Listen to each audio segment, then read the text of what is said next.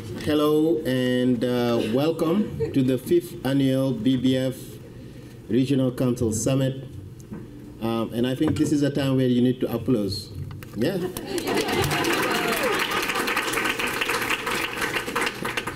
Yes, uh, my name is Ali Jeng. I am one of the regional managers uh, for BBF. I cover Chittenden and Franklin Grand Isle. Um, it is with great privilege that we are all here today to talk a little bit about Regional Council Summit on Equitable Inclusion Community Engagement in this beautiful space. And I really would like to have my regional council colleagues to please stand up and since we are modeling um, equity, we need to model best practices. I'm going to call them by name because I don't know how to say Linda's last name. um, so please give it to um, Courtney. Yep, right there. Um, we have Kelly Hayes right here. Uh, we have Darla over there. And uh, Linda. Yes. Um, this event, we could not do it without the help and the support of all the BBF staff. And you will see them around today with their BBF um, name tags with the logo. And please, if you have any questions, you can ask them, right? Um, and we have also a great photo booth set up upstairs. There will be some staff right there to help you um, answer some questions, take beautiful pictures to be able to tell a story. Um, and as you know, it is important to know where to exit in case of emergency. What can go wrong? Nothing, right? but we have a bathroom right there when you exit that room, right, on your right. And also this room, actually this one, right? There is a bathroom right there as well, right? If we would like also for people to just feel free, right, to not, um, to have good time, right? Please feel free to stand up, walk upstairs, stand up, walk around, right? I think that's what really we want to see today, right? We also want to learn. We also want to grow. We also want to teach. We also want to receive some knowledge to be able to go back to our um, municipalities, our region, and be able to build, to engage, and to make the state a better place, right? So without further ado, please give it a round of applause to the BBF Executive Director, Dr. Morgan Crossman, for some opening remarks about the day. Thank you.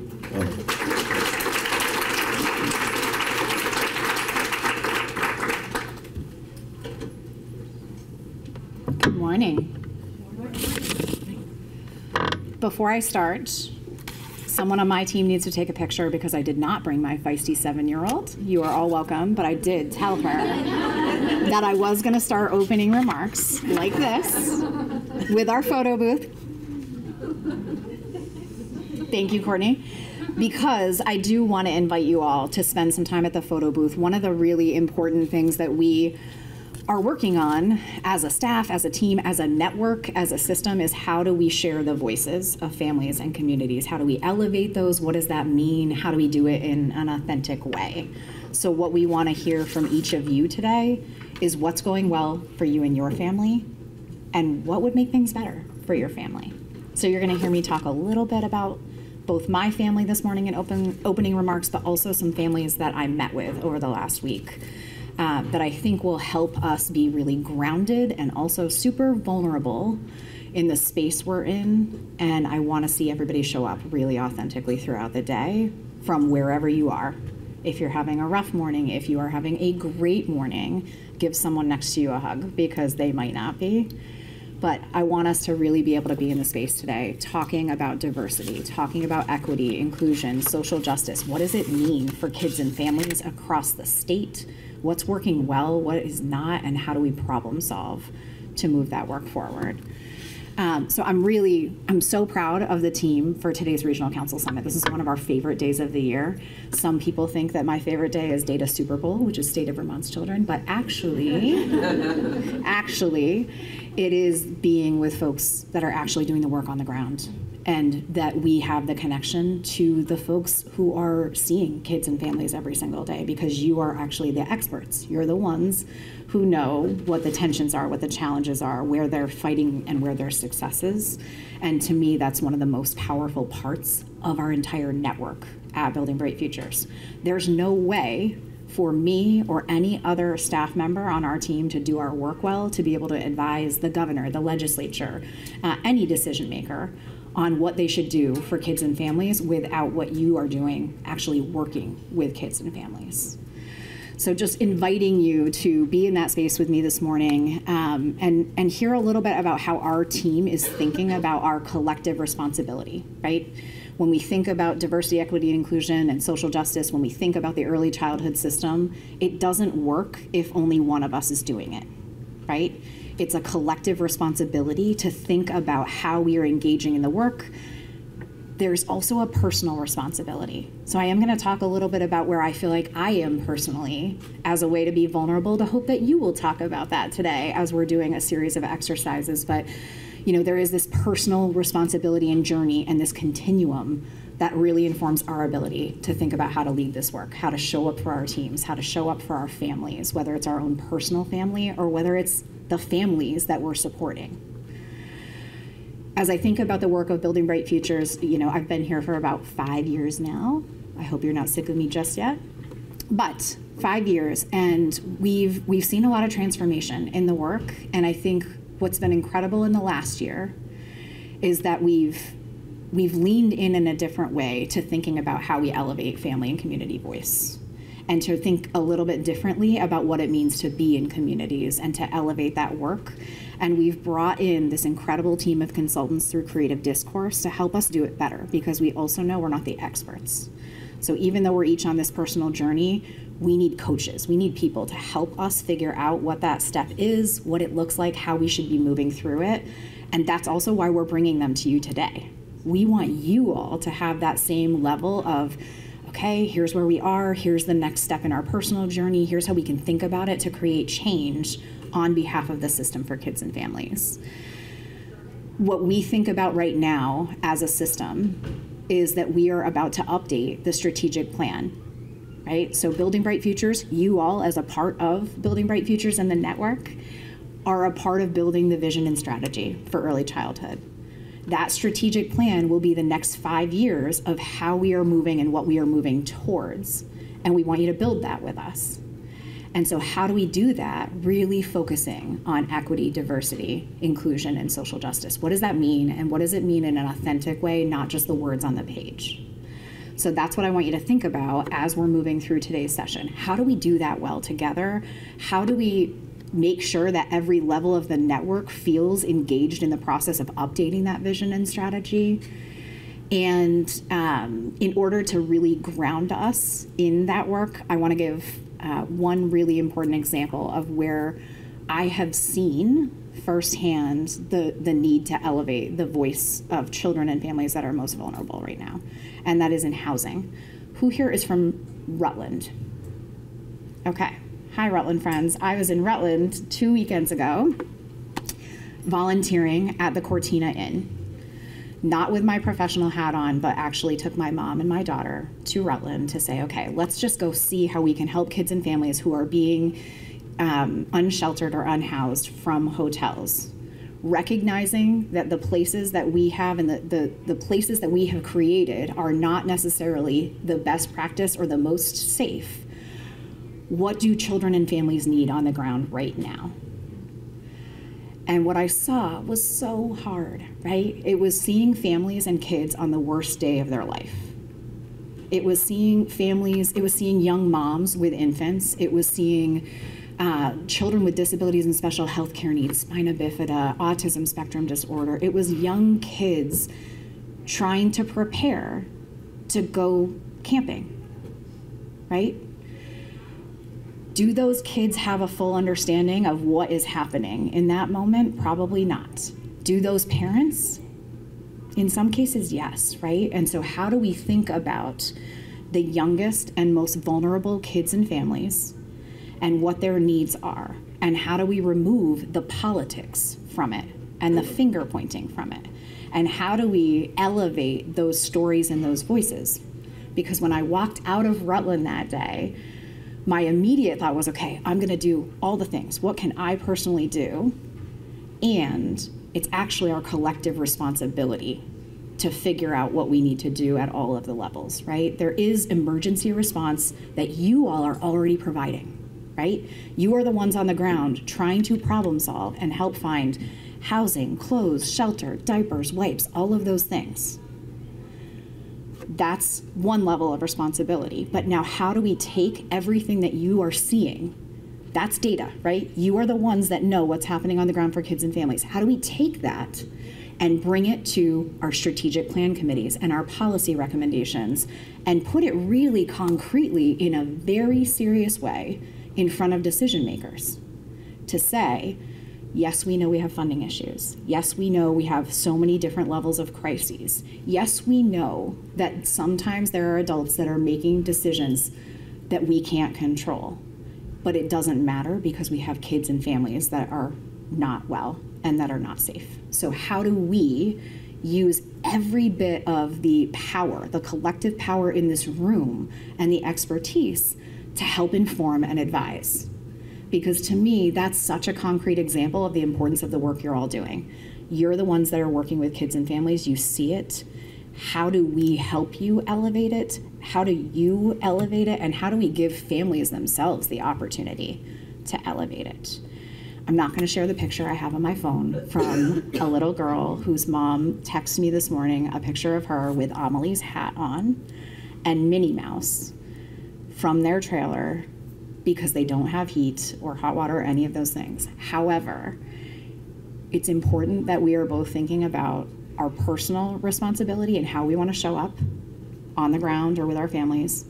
It's just as important to figure out how to elevate and get our policy and decision makers to show up in a different way and to let them know what it really means. Like, what does this mean on the ground for kids and families? So, I share that example because as I think about elevating, elevating the voices of those most mar- marginalized, these are infants and children who don't have a voice and may not even know that where they are living or their situation is unsafe or you know that they are unwell. Amelie played with these kids. They were having fun.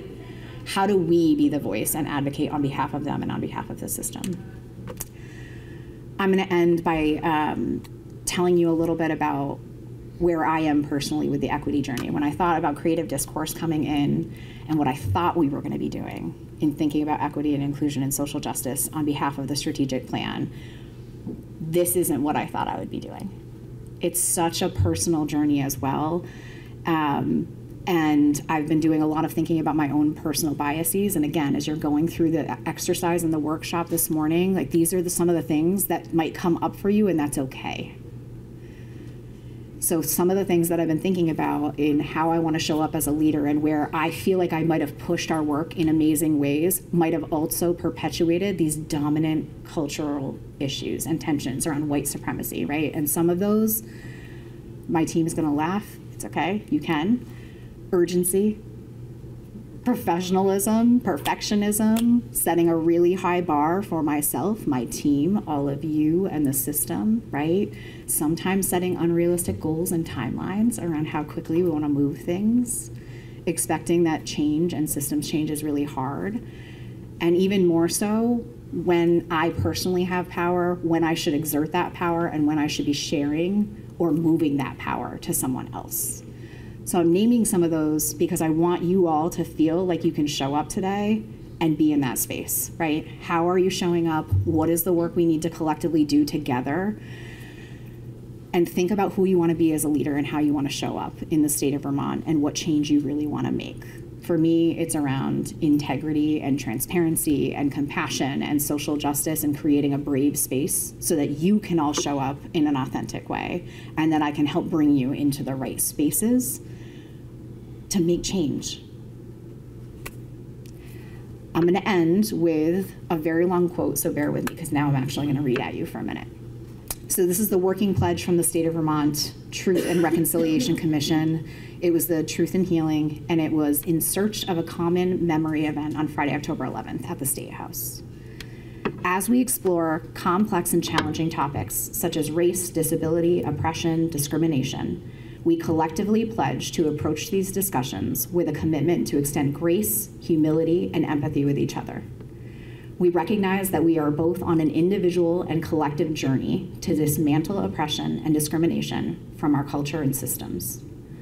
Therefore, we pledge to cultivate dignity and respect, even in moments of disagreement and discomfort.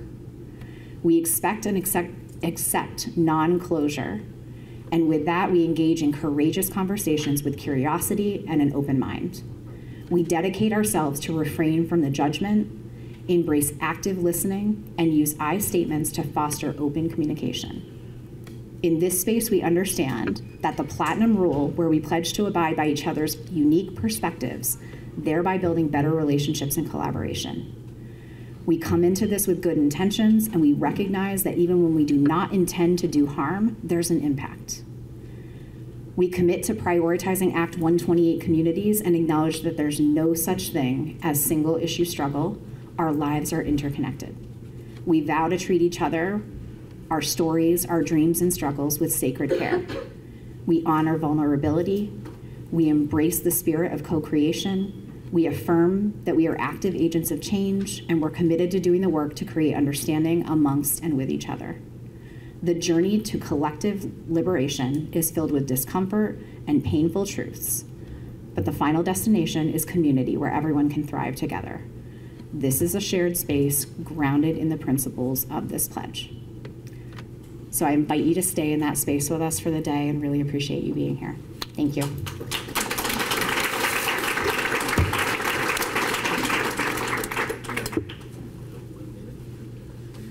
Thank you Thank you so much, and please another round of applause for Morgan Crossman. Yeah, uh, it was uh, so beautiful. How do we show up? How do we show for our team, for our family, and for our community? And that's what we are going to talk about soon with the creative discourse. Um, but before, we now live in the DNAs of technology, right? So some people are asking to not do flash photography right? You can take pictures, of course. We also have Orca Media right here with us to record um, the summit. And Orca, this workshop will not be recorded, um, just like we talked about. Um, the next part of our agenda is the uh, panel discussion. And this panel is being led by Xusana Davis. No one will introduce Xusana anymore uh, because of the great work that she does for the state of Vermont. And I recently learned she's a new mom too. So welcome to the club. Thank you. So without further ado, Xusana will introduce the panelists, and the panelists will introduce themselves. And we have Jacob Bogre, Executive Director of Association African Living in Vermont, can tell more about himself a little bit. Um, Melody Walker Mackin, Vermont Truth and Reconciliation Commissioner and the leader of the Abenaki community in Vermont. We have Shauna Trader, C. Zay, Rainbow Bridge Community Center, Rainbow Relief Program Manager at Barre, Vermont. And we have Kendra LaRoche, Executive Director of the Special Needs Support Center, Upper Valley, Vermont, and New Hampshire. Please welcome uh, Xusana Davis, Executive Director of the Racial Equity and Inclusion Belonging of the State of Vermont. Thank you, Xusana, for being here. Buenas tardes. I thought I heard it. Thank you. Feels so good when you say it back. How's my volume? Can people hear me okay? No? Okay. I'm a yell. That's my favorite thing to do. Um, thank you for joining us. Today we are going to scream about, um, about equity, about service delivery, and about some of the experiences that our esteemed panelists are having as part of their work. Um, it's really a pleasure to be here. As Ali already mentioned, I'm Xusana Davis, the Racial Equity Director for the state, and um, a member of the State Advisory Council as well for BBF. Um, so it's really uh, an honor and a privilege to be able to, to join you all in the different facets of, of the work. I'm going to go through who our panelists are again, um, just because I can, because you gave me a microphone. So, of course, Uh, over here, we have Jacob Bogre from the uh, Association of Africans Living in Vermont, Melody on the far end um, from the Truth and Reconciliation Commission. I'm sorry. I think there's a meeting happening because Teams is blowing up right now. So we're just going to mute that. Sorry, not there, can't help. From the Vermont Truth and Reconciliation Commission. Um, and also who serves as a leader in Vermont's um, indigenous, specifically the Abenaki community. We have Shauna Trader uh, from the Rainbow Relief Program and the Rainbow Bridge Community Center. And then, of course, Kendra LaRoche, uh, Executive Director for the Special Needs Support Center in the Upper Valley, covering Vermont and New Hampshire. So I'm noticing just from uh, titles that we've got a really broad representation of demographic groups, right? I'm seeing groups that are dedicated to supporting people of different racial groups, um, people of different abilities, people from different um, gender or sexual minority groups, et cetera. So just thinking a little bit about the ways in which we're reaching the various sectors of our population through those different identifiers. I'm imagining a series of circles forming some kind of a Venn diagram and thinking about all the different intersection points that each of those groups actually has with one another. So with that as kind of a backdrop, um, I'd like to just start first and ask a really, a really basic question, maybe um, for, for myself and for some others in the room. Would each of you tell us a little bit about yourself, about the services and the supports that your organization provides and the demographics you serve? And I'll start on the end with Melody because you're looking at me. Um, hi, and I apologize if I cough. I, I am recovering from pneumonia for, for about three weeks. So I am here, and I will not get you sick. Um, um, so I'm part of the Vermont Truth and Reconciliation Commission, and um, and, and I wear a few different hats, right? And so one of the other things that I do on the weekends, because I have a one-year-old and a four-year-old, is um, we started working with uh, NCSS to um, have an Abenaki toddler group, and we provide books. And really, anybody who wants to come, whether they're Abenaki or not, um, can come. So we have lots of kids that come to our programs, and we always include our elders. It's just like the coolest thing ever. And um, my daughter's super sassy, so I'm glad that other people can experience that as well.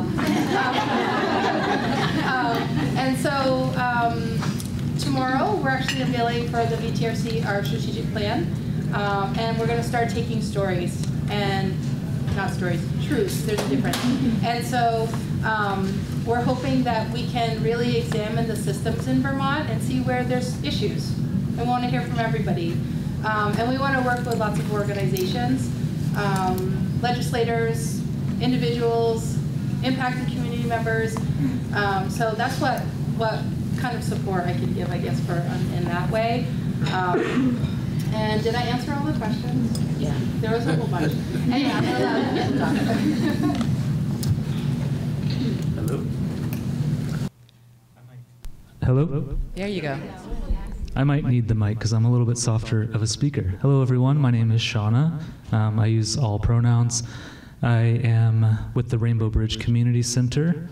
It's a queer nonprofit right in downtown Barre. I know everyone's like, what, Barre? Yes. The gays are up in Barre, and we have our own community center. We're very proud of it. Um, we do a ton of work. Um, we work with all people, youths, older folks. Um, we have a support group for parents of trans people. I'm one of the co-facilitators of it. It's called Trans Guardians. Everyone's welcome to attend it if you have a young trans person in your life. Um, it's phenomenal work. In addition to that, we have the Rainbow Relief Program. This was set up last year after the catastrophic floods in central Vermont.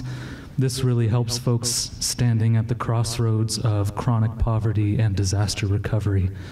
Um, so I work with individuals and families in that respect. Um, I'm also the chair of Barre Up, which is a long-term recovery group in Barre City. So we're working hard to bring housing back online in Barre. And again, our mission is vulnerable folk centered. So we have a lot of children, families, folks with disabilities, etc. Folks that are often overlooked by federal programs and other programs that really center home ownership and business ownership as the requisite for receiving care. So we're super proud of that. I'm also a parent of two teenagers. That's where I'm coming from.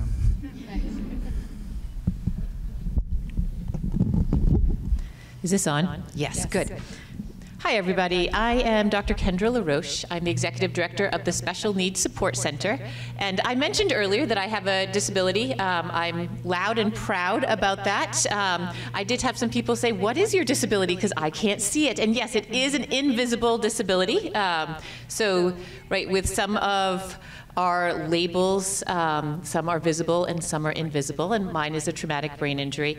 Um, and uh, the reason that uh, Ali said that we should not have flash photographies because I would fall right on the ground and you would not hear me speak anymore today. So uh, that's, that's the reason. I appreciate you not doing that. Um, so Special Needs Support Center is not only disability led, but we are disability staffed. So 80% of our staff have disabilities. Uh, we have reserved board seats for people with disabilities. We, our goal is to not just speak for people with disabilities, but to be the people who should be listened to. That being said, um, we what we do is we go into businesses and organizations, and in this case, maybe they'd be after school programs or early ed centers of any kind, and uh, we have a disability friendly certification process. So we would go in, we would give you recommendations, we do walkthroughs, we talk about physical space, we talked about we talk about staff training. Uh, we can also work with you on maybe particular issues with particular disabilities or particular child. We can talk about behavior plans. So we can do all of those different things. Um, and sometimes when you are looking for help for someone, if you're like, oh, we, we need to talk to people with disabilities.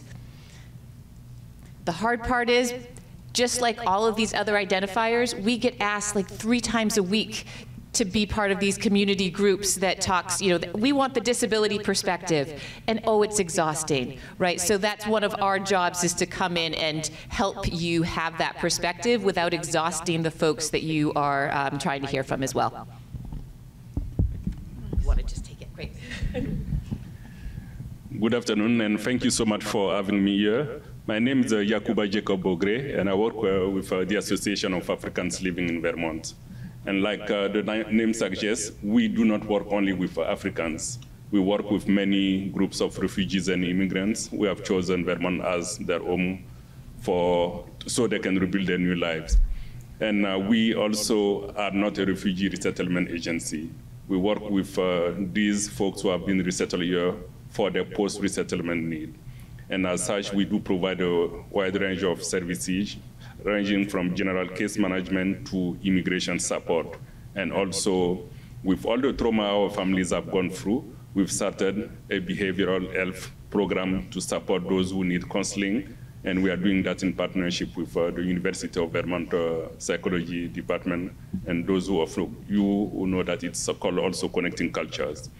And also running uh, focus groups and uh, therapy groups with various groups like the Nepali group, the African Swahili speakers group, and the Somali groups. That also helps them. For those who don't want to go through traditional therapy or counseling, they can have at least a circle where they can share their experience and see how they can be peer, they can support each other.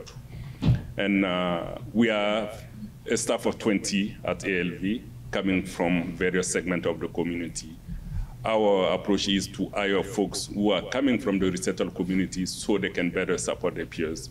No one can be an expert in a culture if you are not coming from that culture. I can read books, I can learn from teachers, but I would not be able to represent a culture unless I am from that specific ethnic or cultural group. And uh, we do also provide a lot of interpretation services. We have a pool of 72 interpreters, all of them working part-time, to help with language support.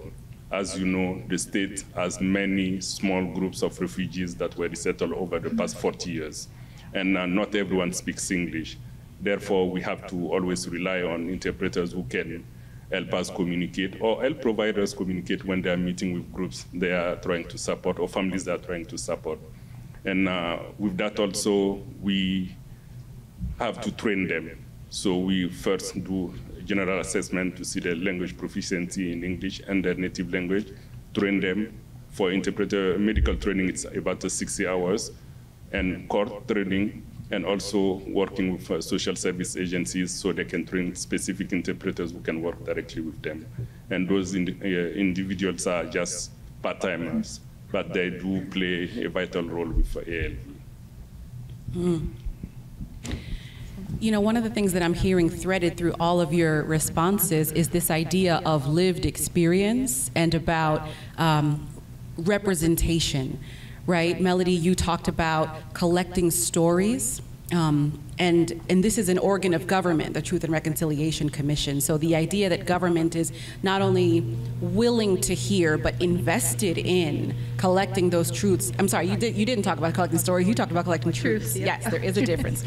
Um, and the, the fact that government would be invested in hearing those truths, the qualitative data piece from people is so important. I'm also hearing that, um, Shauna, when you talked about being vulnerable folks centered, right? And, and you talked specifically about serving people who are overlooked by agencies and entities who should have their back right? Which, which, which Yacouba, I'm also hearing in your response when you talk about things like case management, providing interpreters. These are services that we would expect government or ancillary agencies, agencies to cover. Um, and then, of course, Kendra, you also talking about not just speaking on behalf of people living with disabilities, but actually having people with lived experience be in that seat and relieving the burden from others who constantly get tasked with being the token representative you all are busy. and I imagine you, you've been busy for a long time. Um, but I'm wondering if you could share with us, since a handful of years ago, um, let's say since the onset of COVID-19 pandemic, have you seen an increase or decrease um, in the level of access to the services that you all are providing? And you can feel free to respond in, in any order you like. Do you want to? Okay, I can start. you know, I said earlier that uh, the state has resettled many small groups from various parts of the world. And uh, one thing we've noticed since COVID is the disparity in access. Yacouba, I'm so sorry to interrupt. Can you speak a little closer to okay. the mic? Sorry. One thing we've noticed is uh, the disparity in access to care, mostly health care. Families that are coming for underserved communities, like uh, the refugee population, were somehow left out. During COVID, we had to do a lot of outreach to the communities, explaining what the disease was and what uh, the prevention stages are so they can help mitigate the risk of propagating this disease in their community. We run clinics at ALV, from uh, testing to vaccine clinics. And that also pushed us not to close fully like many agencies where people could work from home. Our case managers were therefore called after July 5th to come back to the office. We were asked to use a preventative uh, methods so that we don't uh, contaminate or share the disease among each other. But it's really hard working with someone who do not speak English. We need help filling their benefit application to just be on the phone, the person does not speak English, and calling a provider who is maybe somewhere else and the, fall, uh, the, call will drop after 15, 20 minutes. You will make that call twice or three times sometime before that person is able to certify their benefits and submit an application. That's how we realized that traditional methods of communication would never work for some of the underserved population. We've reached out to the state, and thanks God, they agreed to at least allow one of the method of communication, which is WhatsApp that many groups use to at least make calls despite uh, some of the concern about privacy or uh, HIPAA violation. Because sometimes we think that having a phone service is granted. But if you don't have the money to pay that line, it will be cut. But if you have access to free internet, you can place your call without restriction. And that's one of the beauty of WhatsApp. And ALV right now use that most of the time to communicate with the, uh, their uh, service, uh, those who are accessing services at ALV and working with kids also to make sure that because most of them are coming from countries or areas where they did not have access to technology, so they can be online and access classes remotely. That was one of the burdens. Many kids in our community missed those classes and are now trying to catch up. Imagine you getting here at 16 or 17 not being assessed based on your academic performance, but placed in a classroom because of your age with some of your age mates, and being asked to perform at their level, you will not be able to succeed. They will push you through the system, you will graduate after high school, but you are not ready for anything. You know, it's good that the state is bringing folks here to help them rebuild their life, but we should also put some resources to help them be productive member of our community. These men and women want to contribute. They want to give back to the state that is resettling them. But we just need to make sure that we provide that level of support. And that's one of the services we've seen increase at ALV, providing support to uh, youth because they are lacking a lot and they've missed a lot since COVID. And this gap is hard to fill within a short period of time. The other thing we've seen also is the immigration.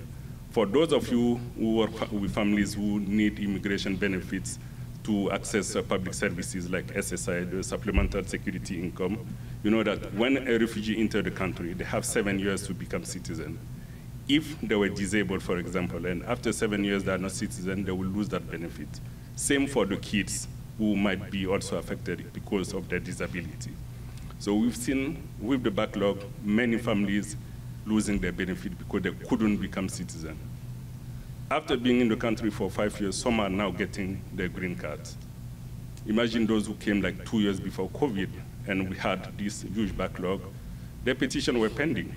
Now they become, they got their green card, they can apply for citizenship, but they lost this vital support of having access to SSI, or the kids lost that support because they, their parents were not uh, citizens. So these are things that we are really still dealing with because of the previous backlog of due to COVID, and also the increased need of adapting our services so we can fill the gaps that we've seen since that period. Thank you. I'm actually blown away by the um, amount of similarities there are between what you just said and the disability community. Um, so COVID also hit the disability community very hard. Um, when we have gatherings like this, uh, over half the people are still uh, wearing face masks because COVID is especially harmful to people with disabilities. Um, and so that's something to know. If you have a, a center where you're bringing kids together, you might still have some people who are really concerned about COVID, even though the rest of our society might think it's, it's not as big of a deal anymore. However, that wasn't what I was going to talk about. That was just a connection to, to you. Um, I think that uh, access to services for people with disabilities, um, staff shortages, of course, across uh, the states of both Vermont and New Hampshire um, have decreased access. And with staff so shortages, those who are often harmed the most are those who need uh, more care, particularly those with like who need a one-to-one -one aid, um, because there, there just aren't the people for that.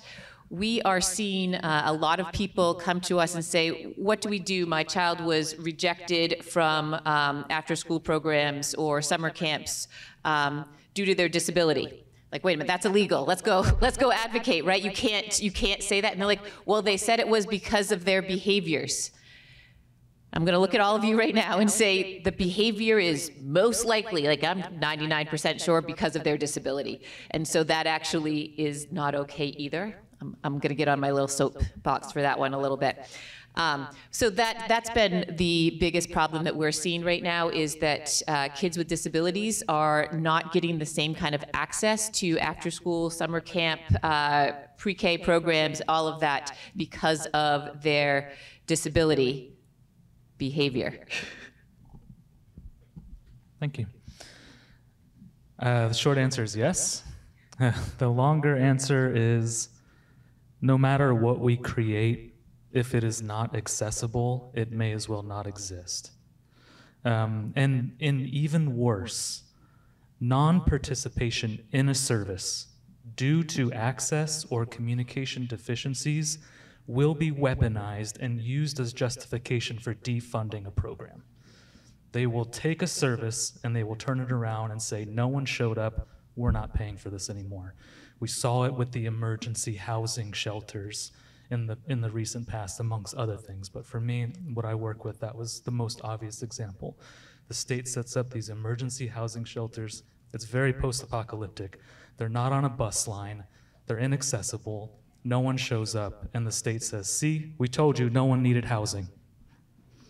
So we have to be just as intentional about accessibility as we do about the creation of the service itself.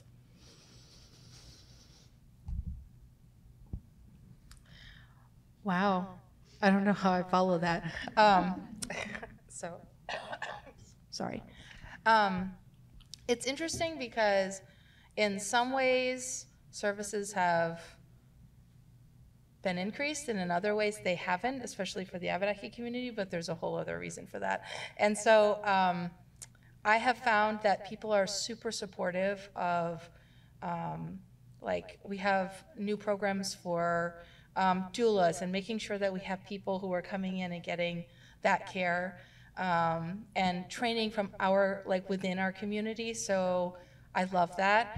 Um, uh, a bunch of our funding is is drying up for different services, but it's okay. We'll still continue, but we just won't have funding for it. And um, VTRC, we were just we just started, so I don't know. We were started in um, we have only been doing it for a year. They did not set us up for success, and so um, we also, in addition to doing, you know, taking stories and well truths from all of all of our impacted communities in Vermont and outreach and all the things we do, we also have to fundraise. So super fun. We're having a great time doing it. uh, but um, I feel like there are a lot of avenues where, um, especially in the Abenaki community, our, our kids are often overlooked because when you see us, you don't necessarily see who we are. Um, and so sometimes it's really difficult to um, get the help we need for our kids, especially in schools. So, um, and we do have a different way of experiencing the world and navigating it. And so some of the things that happened, especially post-COVID, is like our Circle of Courage program, right, through Missisquoi. For 20-something years, it was held in the basement of a um, of a, a home for the elderly. And it, it's perfect, right, for us because we could go with, uh, upstairs and read with them and, and cook for them and do all kinds of awesome things and incorporate our elders because it's really important, right? Um, and then they were just kicked out and they had to find a new place to be. All of a sudden, after like over 25 years, I think she's closer to like 27 or 28, and there was no help, and it was just kind of surprising. Um, so we're finding it very difficult to continue, but we are. So we're here. We're not going anywhere. yes. Melody, I actually want to stick with you. Um, this question, I, I, really would love to direct it to you and to Yacouba, which is um, I hear about all of the work that you're out in the community doing, or in the case of the Truth and Reconciliation Commission, the work that you all are, are gearing up to do. Um, and, and thinking about all of that volume of work, how do you, or how do you plan to, meaningfully engage with the people you're serving beyond just that transactional relationship? And I'm thinking specifically more about the collection of truths and what happens after a person has sort of, you know, um, in, in my culture, we have a, a, phrase, desahogarse, which means to undrown yourself. After a person has undrowned themselves to you. Yep. Lovely. Um, I was just talking to someone today, like literally about just 20 minutes before I here, and they said, you know, Xusana's like the smartest person I've ever met. And I agree. But anyway, um, just saying.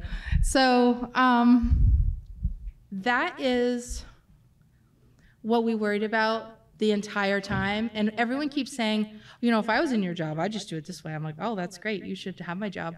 Um, but, um, but we have taken so long. We're coming out with our, our plan, uh, our strategic plan, and how we're going to do this work tomorrow on the State House lawn. And it took us a year. right? Because we were so intentional, and that was the thing we worried most about is how do you really care for people? What does that really mean? And we talked to VTRCs all around the world, and not VTRCs, Truth and Reconciliation Commissions all around the world, and what everybody said was that's the most important thing is really caring for people, and especially when you deal with genocidal trauma, um, that is a whole different ball of wax, and people tend to the first, uh, if you're reliving something, you revert to the first reaction you had. And the Canadian TRC came to us a little bit ago and they said, you know, our goal was so that no one committed suicide at the event.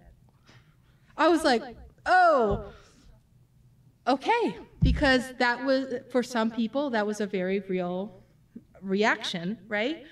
And um, we are bringing them to us.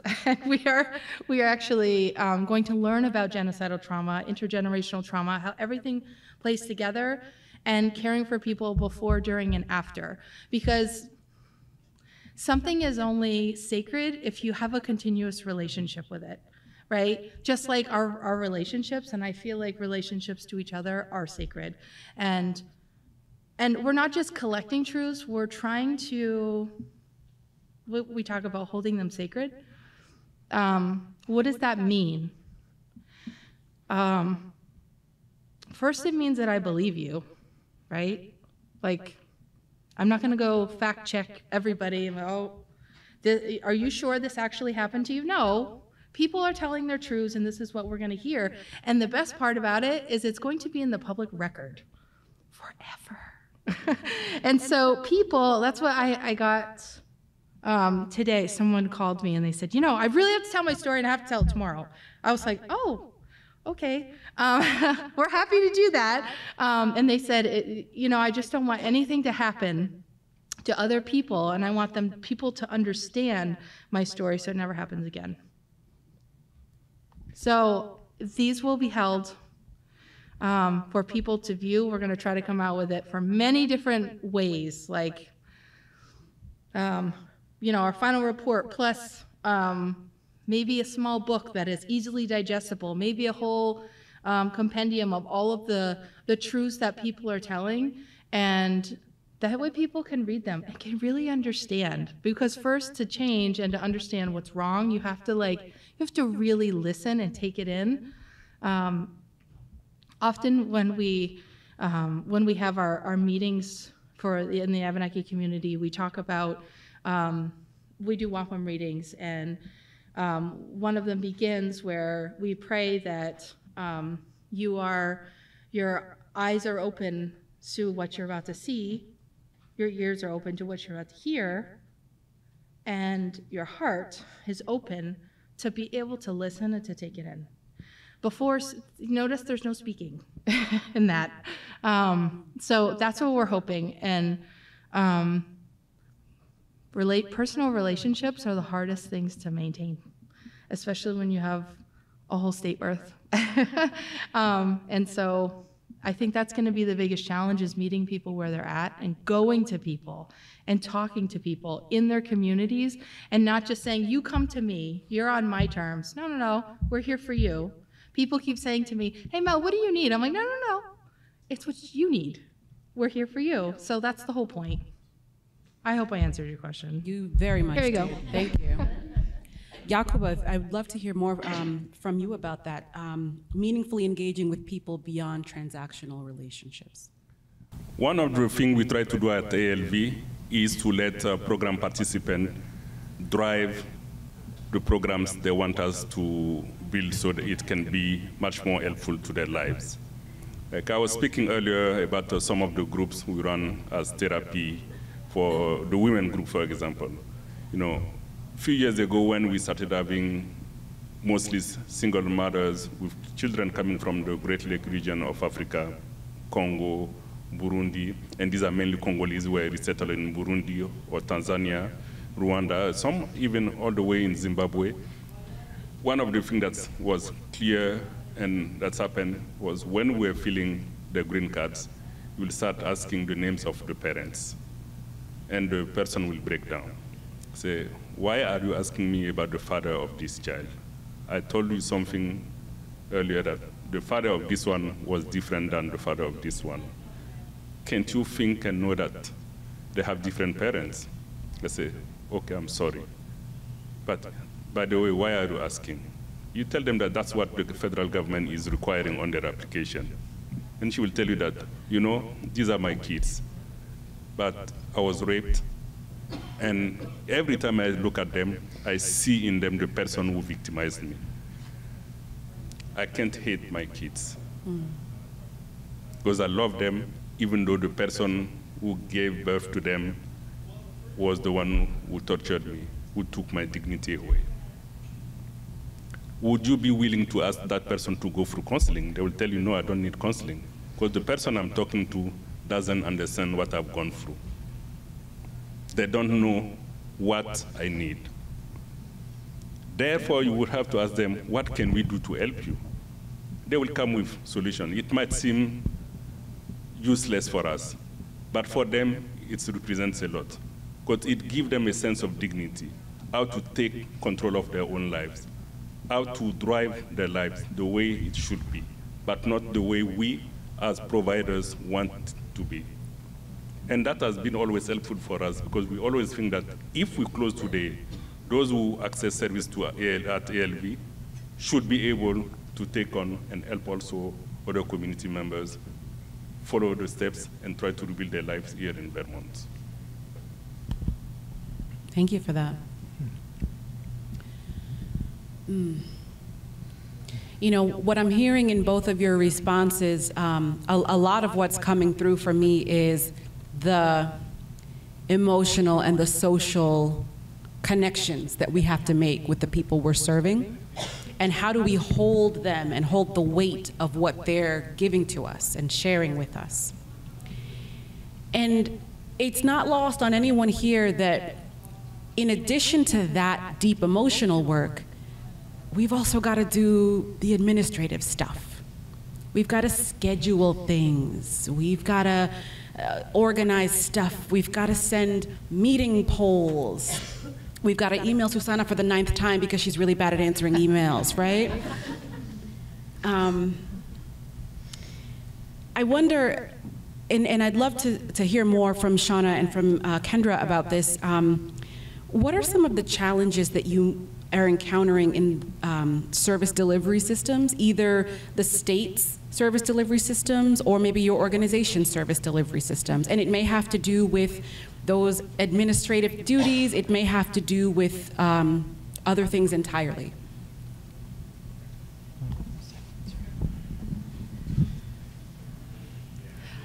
I'm just going to say an elephant in the room right now. Like I feel like we just got a service delivery question after they got this really emotional, deep question, and and I'm, I'm having trouble following it. Um, but we're going to go with it. Service delivery. Uh, um, so I talked uh, a little bit earlier about um, people who need to understand that behavior is a, a form of communication. Um, and we need people who are trained to understand that form of communication. It is like an interpreter. Um, and that, so, so staff training is a piece of this service delivery system that I think uh, individuals with disabilities particularly need. Um, I think about the inter intersectionality of all of the groups that we are representing. Um, and uh, for instance, there is a, um, a young black uh, child who, with an intellectual disability, lives in a poor area and parents don't have a, a vehicle. Um, every year, this child is signed up for to come to our camp. Our camp is free. We we do all of our after-school programs, all of our summer camps, everything is free.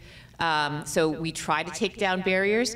Um, every year he signed up, and every year he doesn't come because his mom doesn't have any transportation.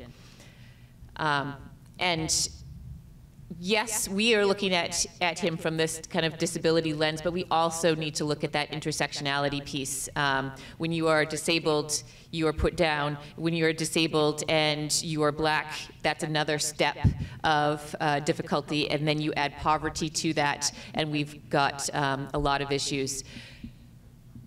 I look at uh, some of the intersectionality with uh, some of Shauna's work, um, and I've uh, had the lovely pleasure of uh, trying to work hard to explain pronouns and gender to a group of six year old autistic children, which is really interesting, some of which who are nonverbal.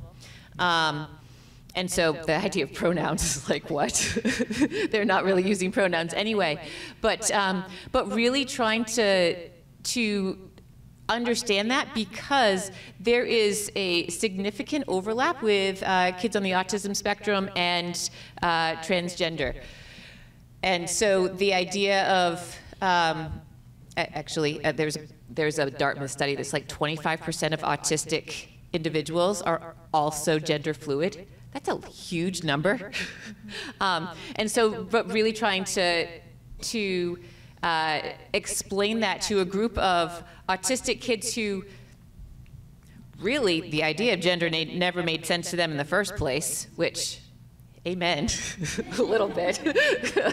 Um, that, that, that there's some difficulty already there of like okay so these other people recognize gender and now we're trying to explain pronouns and you know so there's just some difficulties that i'm not sure i'm getting to service at all here. I'm more talking about intersectionality um, here but it's that understanding of where people are coming from and the training that's needed. So I think I'm going back to training once again um, to work with individuals, whether they have disabilities, whether they, um, they need to have explained to them what pronouns are. Thank you. I have a two word answer, which I slapped on a post it note on the thing over there, and that is abolish bureaucracy. Abolish bureaucracy. And the question is, are we fighting to create data that satisfies a means test or a legislator's criteria for action? Or are we fighting for people? Are we fighting for justice? We have to ask what is the problem? You know, Einstein said if he had 60 minutes to solve a problem, he would spend 55 minutes defining the problem. Okay? The solution is pretty simple. The hurt, the pain, the injustice is all around us. It's a matter of getting the obstacles out of the way. I'm thinking also of the story of Michelangelo, who carved David and all his glory in that stone. Maybe you've seen it.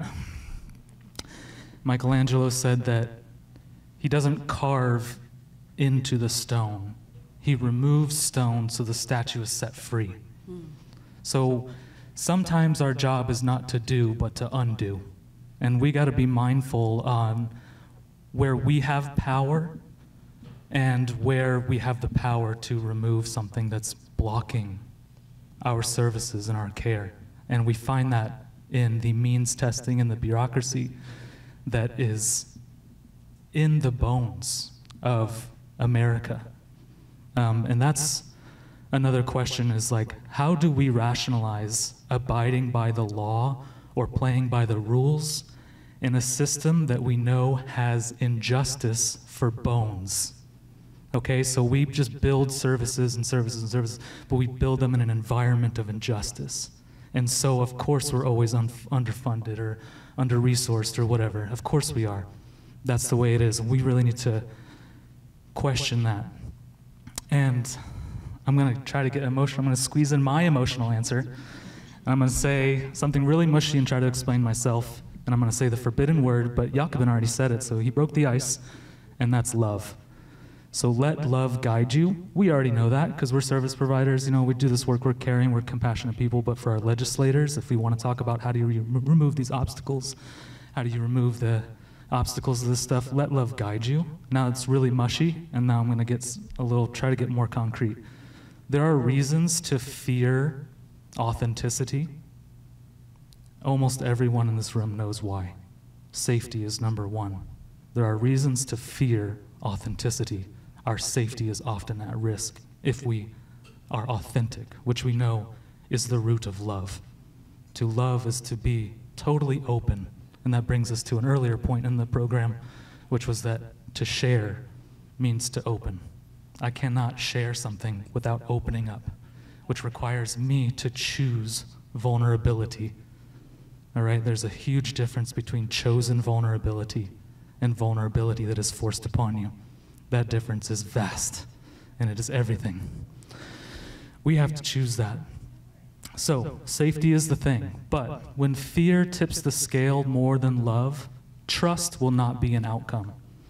Trust is a seed that is planted in very humane moments, in moments of deep humanity and love. That is where trust in that relationship forms. And if our lawmakers and our people who have the power to invest understood and worked with love leading them, we could see a dissolution of those obstacles. Are you reading from a book of poetry or is that from your brain? I've been taking some notes this morning during the conversation. I'm improvising a little bit. Feeling hella romantic over here. Appreciating all of you for those responses. Um, in just over 10 minutes, we'll be inviting questions from you all. So I'd like to let you know that so that you can start thinking about anything you'd like to ask our panelists.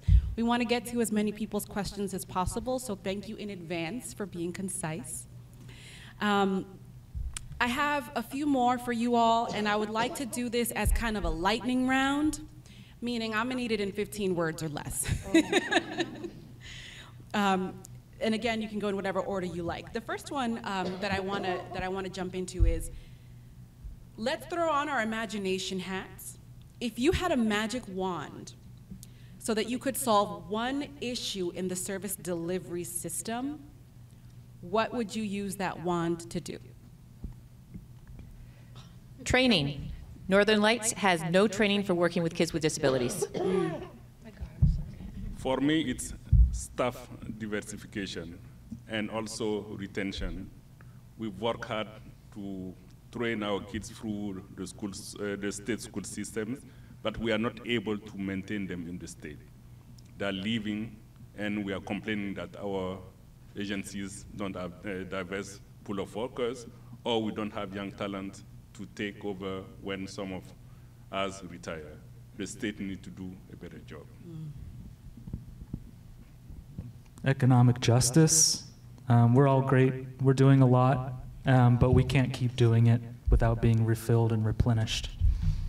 And we will just slowly burn out, and that's what I'm really afraid of in the long run is really big-hearted service providers burning out because they don't have the support they need. I don't know. This is lovely. I love being with all these people. this is so great. Um, and and all of what you what you have said, I just I would just echo that because training, especially, like even the ability to be like culturally humble enough just to work with human beings has been wow. Um, even that is is a lot. And so, how do you get services people need in a in a way that they need them? And it's all about love, right? It goes back to what people need, what they want, um, how they want to be treated. So, yeah, we keep stealing your mic. I'm sorry. We can all share. Yeah, we have one. all right. So based on all of your experiences, what advice would you give to professionals in the field um, who want to do more to provide access to services for vulnerable populations? Go to them. Can you say a little bit more about that? Um, I feel like one of the biggest issues, especially even in like the Abenaki community, is um, you really have to go to people because they're not going to go to you. There's a lot of mistrust, especially in government provided services, and um, anything related to child services. You're not there's there's little trust, and there hasn't, frankly, been earned in a lot of respects. And so um, I was working with a, a group that was like, oh, we're gonna we're gonna do all these awesome things in healthcare, and we're gonna expand all these services, and it's gonna be really, you know, culturally humble. And then uh, they were like, oh, what would you say? I was like, yep, you have to go to people. That, oh no no, we don't do that. I was like, oh, well, then I, I, I guess my job here is done if you're not going to listen to me. um, because people literally won't. And so, like VTRC, we set up 33 locations all across the um, the state we're going to be going for office hours, and we're like, okay, this has a high population, let's go there, and then we'll have this epicenter. And we we did like a week's worth of work on just like how can we reach the most amount of people. And we came out with the list, and people were like, you're not coming to my my town. I was like, do you know how many towns? And I was like, okay, all right, I will go to your town, and I will set up a special day. And then everyone, oh my gosh, we're gonna have such a good year. But you have to go to people and you have to earn trust because that's what that's about is making sure you know that you know people know that it's not just another thing that we're taking from people. It's like what do you need? I don't even know what the question is anymore. There you go. Advice to professionals on expanding access in service delivery. Yeah. My advice is it's a marathon, not a race conserve your strength. Rest is also revolution. That's Bell Hooks who said that. Um, and organize and mobilize. If our work, which is centered on humanity, does not have a political element to it, we are ignoring a critical piece of the puzzle and we are walking away from the table and leaving an empty seat. We are privileged if we cannot get political. We must be political. That is the power in this country. For me, it's uh, always trying to remind the state that we are doing a lot with less. Therefore, we are burning those who are on the front line, and that is not sustainable. If you have to recruit or hire every year, retrain, by the time they are ready to serve their communities they are leaving, we are wasting resources. So we really need to be mindful of that and put the resources where the needs are.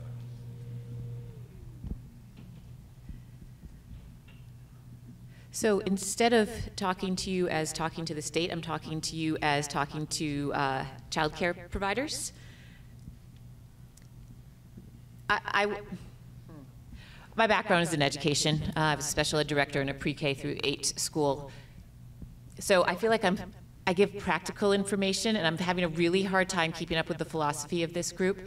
Um, but so my practical information is that it's not what's best for the group as a whole, it's what's best for each individual child. And that is difficult to do. It's difficult to remember. It's hard when you have this one kid who might be causing all kinds of issues in your space but you have to always be thinking for each individual child in your space what's best for that individual child. Hmm. Another lightning round question for you all, and I know this is this is hard to do lightning. Um, can you share just a really quick story or anecdote of someone who maybe you helped um, and who's now better off because of a service that you helped provide or connect them with? started yet. yeah, I need the pressure. Um, probably the best type of story that I hear is I won't be seeing you anymore. And not in a bad way, but like, you helped me fix my car, that helped me drive to my job, you helped me get my driver's license, that helped me get housing, you helped me get my first paycheck. I won't be seeing you anymore. And I see that a lot working with unhoused and housing insecure folks in Barre City. Um, it doesn't take a lot. Sometimes it's just, sometimes it's $1,000, sometimes it's $500 and a few hours of care. And that's all it takes to get someone out of the pit of despair and on their way to their first paycheck, housing security, reunification with their family, and so forth.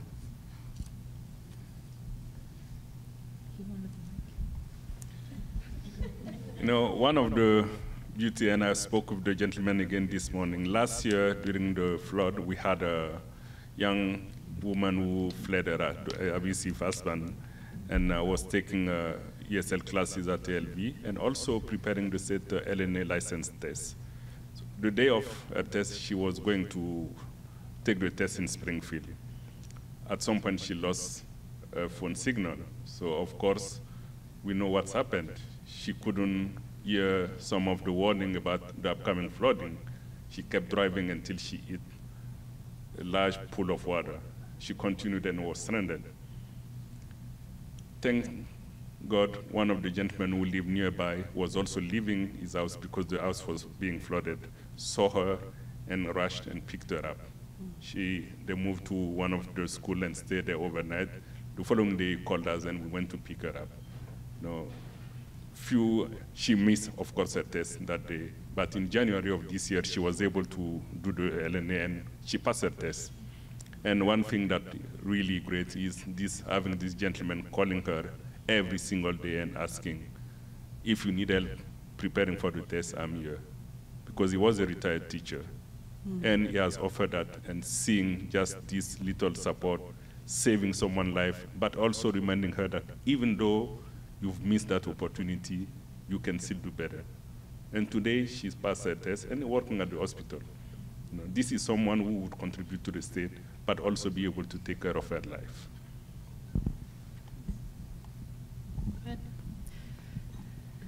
So uh, we at the Special Needs Support Center also have um, summer camps, uh, well, whenever school's out, February, April, summer camps uh, for kids just with disabilities.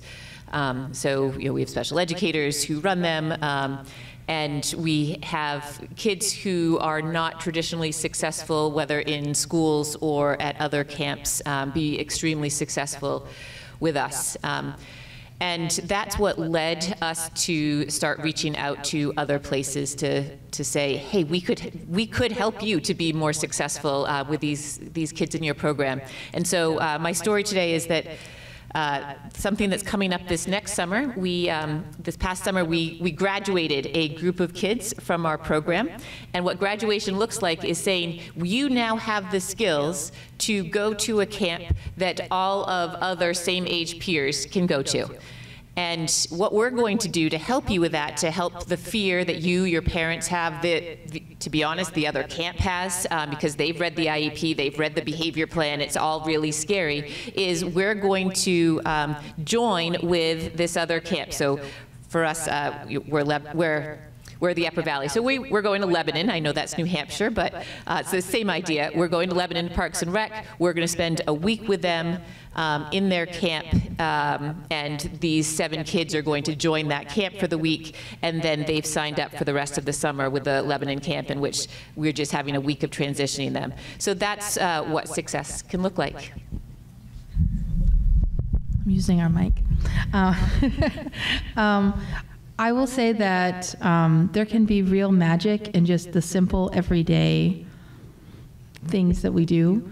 And um, when I first started with VTRC, um, I spoke to a wonderful woman that had some of the stuff that happened, there's no way I could ever help, you know? But like listening, and I won't tell her tell her story or her truth because it's not mine to tell, but you'll you'll be able to read it at some point. Um, and still, we talk, and it's been a, a year. So like just just the the simple of being able to just listen in a in a way that um, I am empathetic and um, offering support in the way that I can allows people to like I take some of their their worry too on me. So I think there's value in that, especially in like the whole the whole process that we're trying to do is um, with what's happened all throughout the history of Vermont and two people, just the history of all of us about humans is um, it's much easier when we can do things together. And that includes taking some of the pain and spreading it out so we don't have to feel all of it right? So there you go.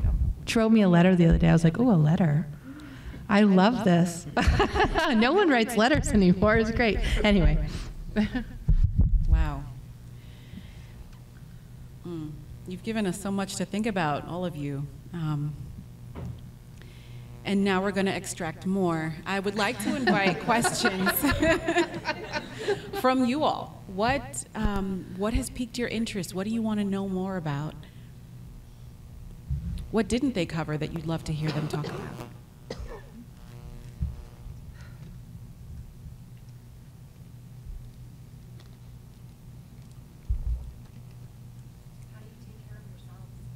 The question is, how do you take care of yourselves? I don't want to answer this question because I, cause I don't. Uh, it's just, um, which is really like it's constant and like all the all the um, Truth and Reconciliation commissions. That was the one thing everybody said is you have to have a care team for not only the people that you're helping, but you because all the secondary traumas and all the things. And I have a one-year-old and a four-year-old at home with me all the time while I do this stuff. Like, um, and it's really hard. And luckily, my mom's usually around, so I can be like, "Mom, you always need your mom." And so, um, I don't know. I, I fail. I, I give myself an F. Sometimes uh, this type of uh, terminology do not exist in uh, most of the work we are doing. I know some of you leaving the school premises, working all day with the kids, but having also to deal with the family needs can be cumbersome. For me, it's just leaving my computer at home, at uh, my workplace, during uh, at the end of the day, and going home. And on weekends, spending some time with uh, three of my grandchildren. You know, I seem to be young, but I still I have uh, three grandchildren that keep me on the toes. so a few years ago, I would be volunteering with uh, my kids' uh, basketball team, driving them here and there.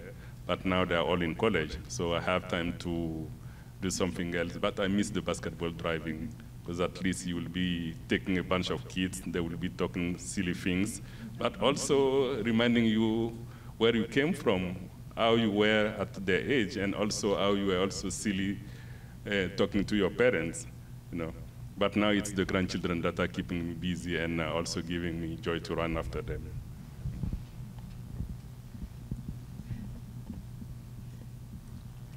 I'm really hesitant to give my answer. Uh, I take care of myself by I left education. Um, so, so maybe that's uh, it, that's true. That is a, a, true statement. I got burnt out in education. Uh, I was a assistant principal. I was in charge of special ed and behavior, and um, what burnt me out was not necessarily, it, it, had nothing to do with the people I was working with. I loved working with the people. What burnt me out was I knew what the solution would be, and the system was too inflexible to allow me to be innovative and to make the changes that could refuel me and allow me to keep going. So I moved to the nonprofit world. Good luck with that. uh, I'm, I'm probably misquoting this. Someone correct me, but uh, maybe Toni Morrison. If dancing's not a part of your revolution, I don't want to be a part of it. So dance, you know, just cutting loose outside under the dappled light coming through the leaves of the tree, fresh air. Basically, breaking out of any boxes or containers because the work that we do is all about criteria and protocol and you know boxes to be checked and so forth. And that's such a big part of what frustrates us in our work is that control.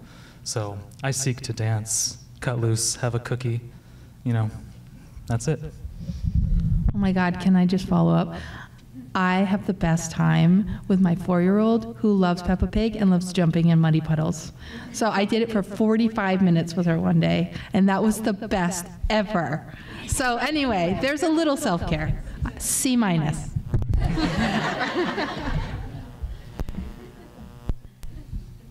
Other questions? I have a question. If I could invite each of you for a beverage, a meal, whatever, where would where would you be willing to meet me? The question is if I could invite each of you for a beverage, a meal, some gustatory experience, where would you be willing to meet me? I will start. I am going around 33 locations around the state, and so, and other communities as needed, and so I, I can go anywhere.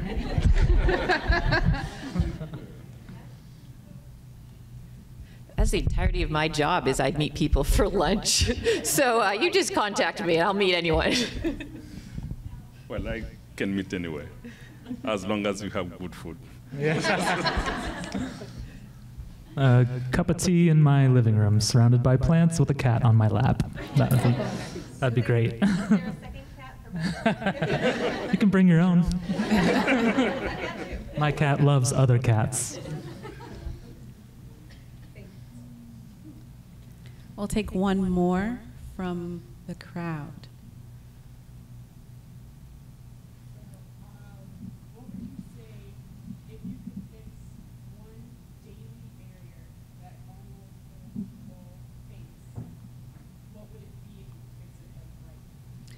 The question is of all of the daily barriers that vulnerable people face, if there were one that you could fix immediately right now, which would it be? Believe people. Because that would take care of like so many things. I'm just like, right now, I'm trying to um, just listen to someone who's having the hardest time just getting medical care. I mean, and it would all just go away if they would listen, right? So I feel like just actually hearing people and not like putting things on others that you think, that would take care of most of our systems. So. Transportation justice. Uh, as messed up as this world is, there are a lot of great services and programs out there if only people had a ride. Stigma? Uh, so the, the statistics would say that a quarter of the people in this room have a disability, and uh, I'm wondering how many people actually share that. And if we started just sharing that we have disabilities and yet we can still do all the things that we do, then uh, maybe we could start trusting that people with disabilities can do all the things as well. For me, it's uh, to invite you to learn about your neighbors, learn about their culture, and learn where they're coming from. That would at least decrease the level of bias we have in, our, in some part of our community.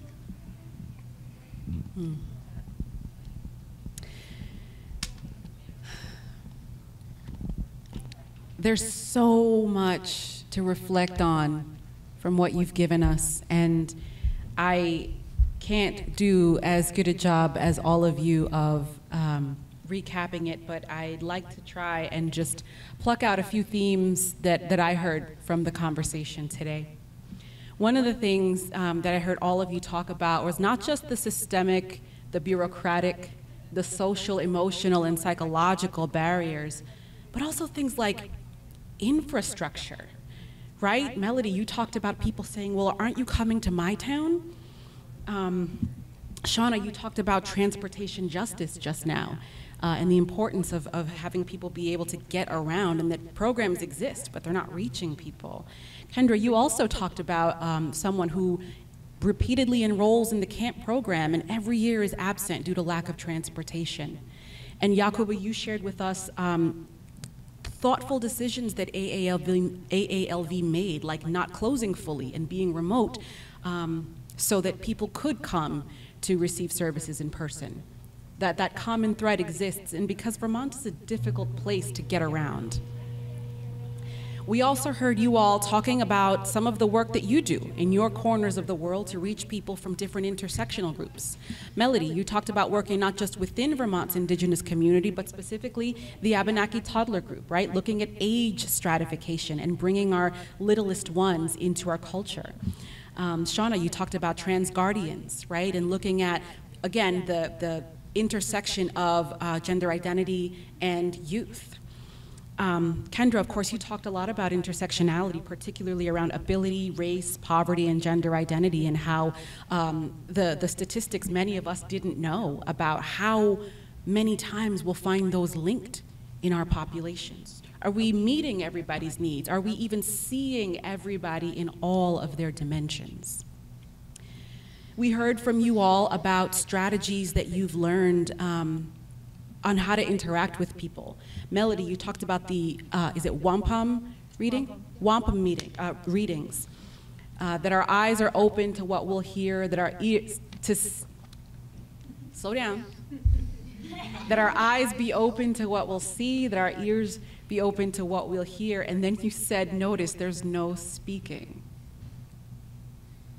And yet, the other side of that coin, Kendra, we heard from you talking about explaining something, like a, a general concept to a group of autistic six year olds, um, and understanding the level of detail and patience and the approach that it takes to communicate something to people who receive communication and stimuli in all kinds of different ways um, which I think gets back to a point you made, Melody, where you said, um, what does it mean to hold truths sacred?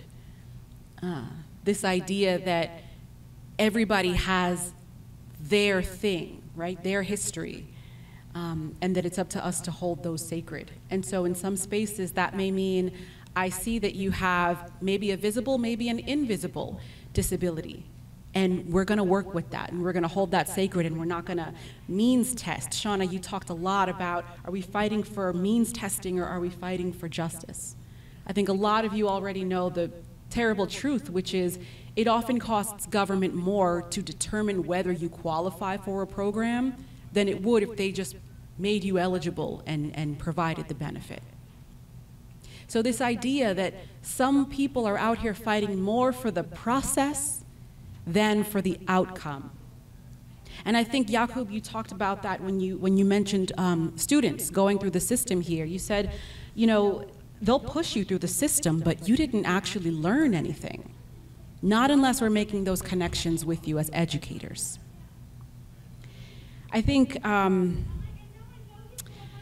you know, we also heard um, some, some really difficult themes to talk about, right? Some of our discussion touched on themes of suicidality, of sexual violence, right? Um, and I'm sure there are other things that maybe I don't identify as triggers, but for some of you, maybe they are. And I think that's a lot like the work that you all do on a regular basis. You never know what you're going to find, you never know what's going to come up. And when it does, are you internalizing it? Like Melody told us, do you have a care team not just for the people you serve, but also for yourself? The secondary trauma is real. And as at least three of you said today, it creates burnout. I think um, one thing I'd, I'd, I'd, like to leave you all with, I, I, again, I had a lot of really great takeaways from your conversation, but a few things that you each said really, really stuck out to me. Um, Melody, you said, again, what does it mean to hold truth sacred? And you said, number one is I believe you. Shauna, you told us that non participation in a service due to something like language barrier or accessibility will be weaponized against you and then justified, used to justify shutting down a program. To talk a little bit about the sort of sinister way that systems look to pretend that they've done something and then be able to back away when we predictably somehow can't access it. Kendra, you said to us that behavior is a form of communication. And that is so real, real, there's even court cases about it. Even the t shirt you wear or the piece of cloth that you choose to burn in public view is communication. And are we seeing people in all their forms of communication? And Yacouba, you told us that we're doing a lot with less. So we're burning out people on front lines and that that's not sustainable. I have to ask one last question, and this one is optional. Is there anything that has not been said that must be said before we close today, panelists?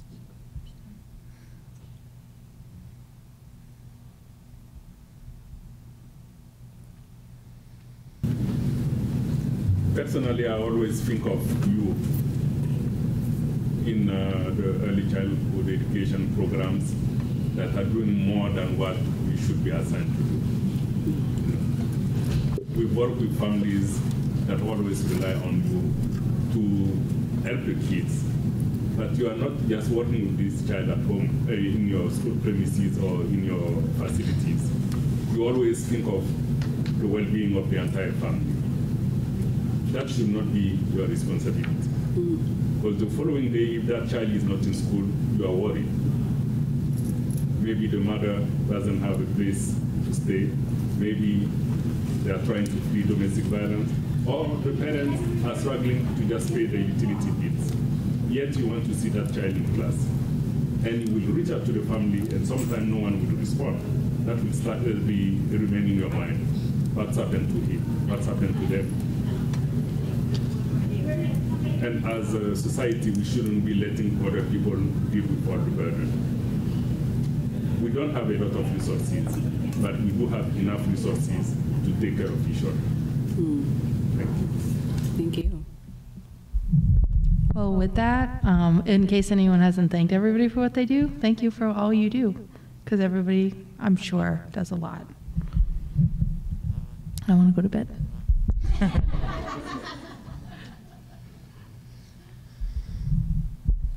Let's uh, challenge our understanding of productivity. A productive community is thriving. If our communities are not thriving, it should be obvious that they are not being productive. And we say things like, it takes a village to raise a child, but it, it, we are the children. It takes a village to let us live free and with health and dignity. So we really need to start challenging our deeply held understandings of things like what makes us productive, efficient, good.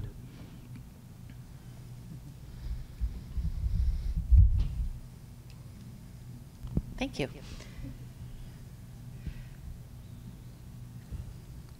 When people ask me to do trainings on, um, I, I do a lot of case studies in my trainings, there's always a hesitancy to even talk about disabilities or people with disabilities because of the language. And there's a fear that you're going to get something wrong, you're going to offend somebody, you're going to cause more harm. Um, and I would just encourage everybody to ask, how would you like to be referred to? Um, and that's just a, a good basic question. Please join me in thanking our panelists today.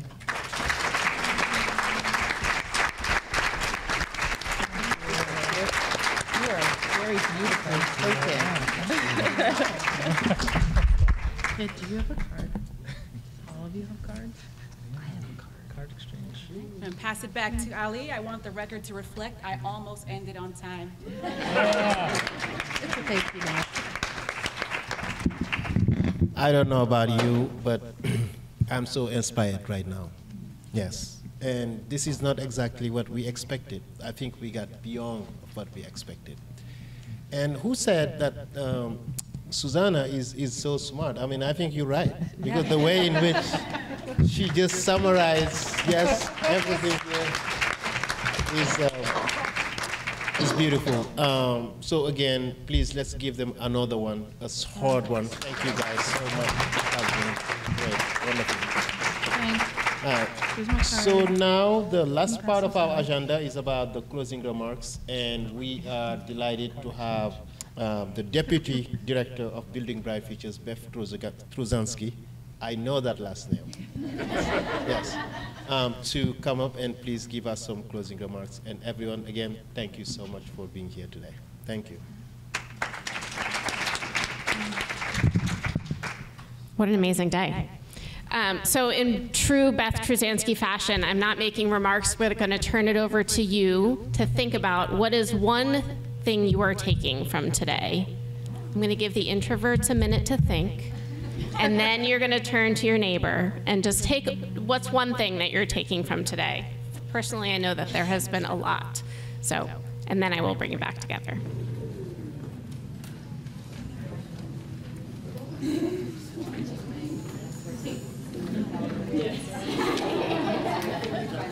Happy birthday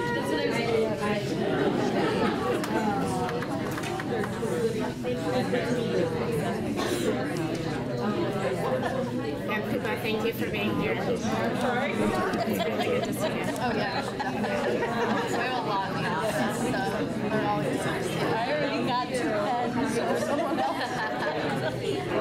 Yeah, I don't, don't let me have one. We're taking home.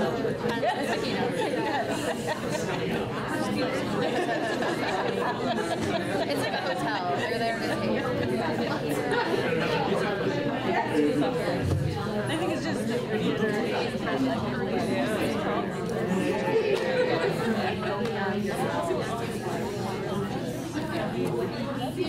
Get this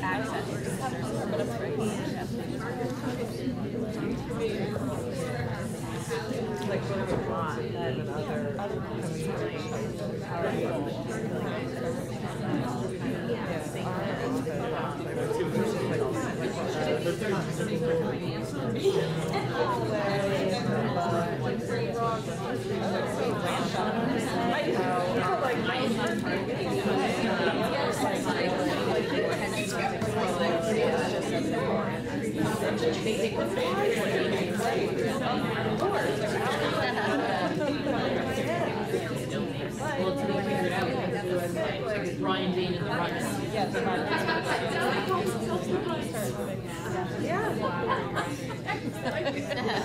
Let it simmer?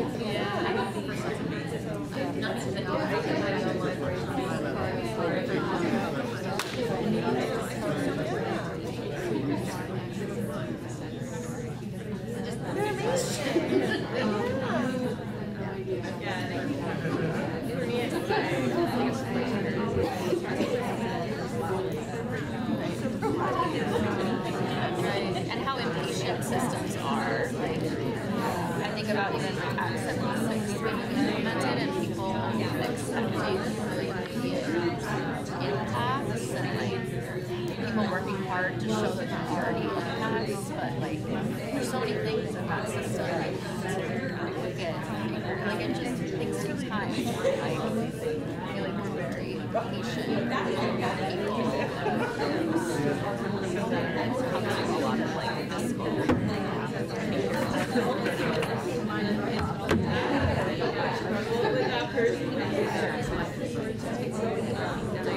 Friends. The sponsoring legislator. It's been a phenomenal day. I know you're not done talking, and hopefully, if you if you carpooled, you get to talk with your carpool buddy. So, first, I want to say thank you to our regional manager team for planning such a spectacular day.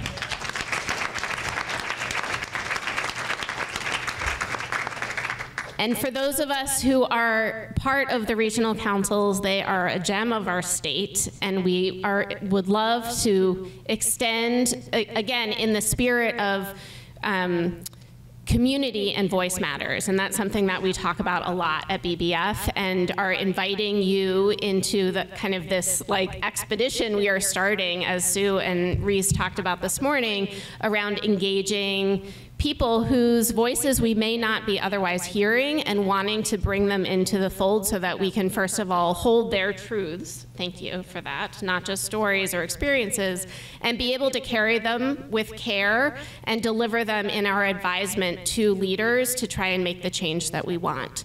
So please we hope that you will um, consider participating in one of the three um, kind of opportunities as we are working to update the Vermont, early, the state's early childhood um, strategic plan. So there's several opportunities.